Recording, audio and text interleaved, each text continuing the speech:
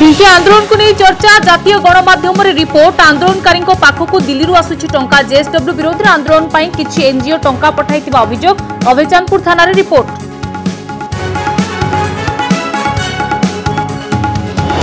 মাঙ্কু ভেটি কান্দি পকাইলে উত্তরপ্রদেশ মুখ্যমন্ত্রী যোগী আদিত্যনাথ উত্তরাখণ্ড পাঞ্চুর নিজ গাঁরে পৌঁছি মাঙ্কু কলে সাক্ষাৎ পাহাড় চড়ি পাদরি চালি চালি যাই পৌঁছলে ঘরে অঠেইশ বর্ষ পরে পারিবারিক কার্যক্রমে যোগদেলে যোগী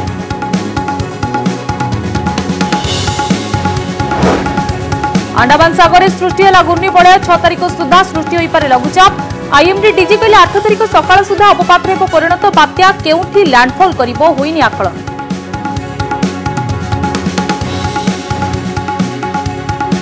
ব্রজরাজনগর উপনির্বাচন নিয়ে বিজেডির বৈঠক মুখ্যমন্ত্রী নিষ্পতি সর্বমান্য হব বলে প্রস্তাব পারিত নব দাস কহিলে বিজেডির বিজয় সুনিশ্চিত পিসিসি সভাপতি প্রতিক্রিয়া প্রার্থী হওয়া তিন জন করেছেন আবেদন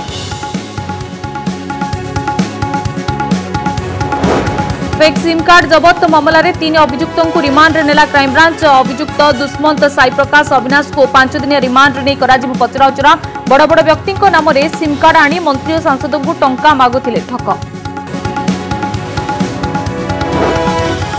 রাজধানী আয়োজিত হচ্ছে ভারতের প্রথম মহিলা ব্যবসায় মেলা ভর্চুয়াল মোডে উদ্ঘাটন কলে মুখ্যমন্ত্রী নবীন পট্টনাক সামিল হলে শহে অধিক মহিলা উদ্যোগী